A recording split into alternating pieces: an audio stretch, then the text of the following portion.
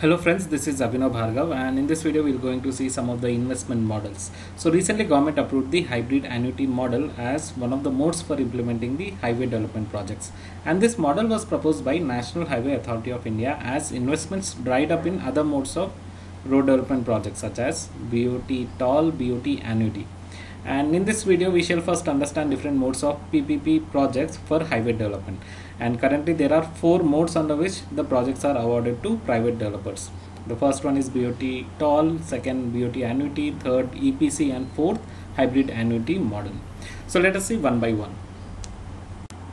So the first one is BOT toll that is build operate transfer and toll so as the name suggests the private party is responsible for building the project. Say construction of this road for that he acquires the land he procure raw material he design and he construct the road. That is private party bears the construction risk. And not only that he operate and maintain the road during this concession period. It means that they even bear the operation and maintenance risk. And then they collect the toll and recover cost by the toll collected. And suppose if traffic does not materialize as per their projections then they won't be able to recover their investments. That means they even bear the traffic or commercial risk here private party has to arrange all the finances to build the project and government awards contract to the party which is willing to share maximum toll revenue with the government. So clearly private party bears the maximum risk in BOT toll. So the next one is BOT annuity. Annuity means series of equal payments at regular intervals. And it was designed because BOT toll entailed too much risk and private developers were not willing to invest in the project and this model is exactly similar to BOT toll except that private party does not bear the traffic or commercial risk.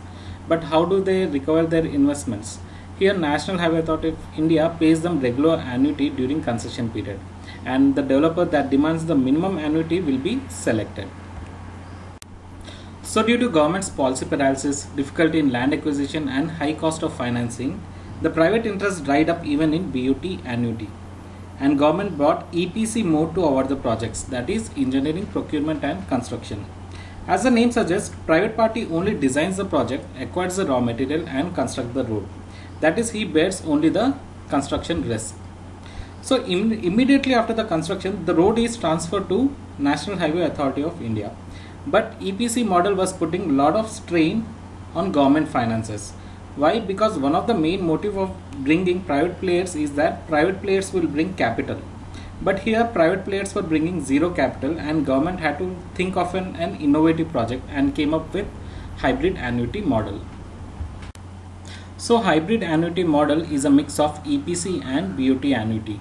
Why annuity? Because private players don't collect toll but recover investments via annuities. And why EPC because government will provide 40% of the project cost that is government and private companies will share the total project cost in the ratio of 40 is to 60 and not only that one of the main feature is that there is a provision for inflation adjusted project cost over the time and how it is a win-win situation to the private players and the government See, the private player has to arrange for only 60% of the project cost. That is exposure and risk reduces. And all regulatory clearances risk, compensation risk and commercial and traffic risk will be borne by the government. That is risk for the private sector is minimal. And government has to give only 40% of the initial funding. And not only that, the operation and maintenance will be by the private player. That is it will ensure better expertise and better quality of services. And finally comfort to the lenders that is banks through assured annuity payments. So this is a basic understanding about different modes of ppp projects for highway development. Do like share and subscribe to this channel. Thank you